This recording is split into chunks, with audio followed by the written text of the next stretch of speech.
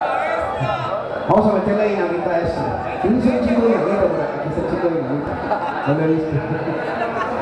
Ah, está por allá, por creo. Esto es solamente rock and roll, pero me encanta.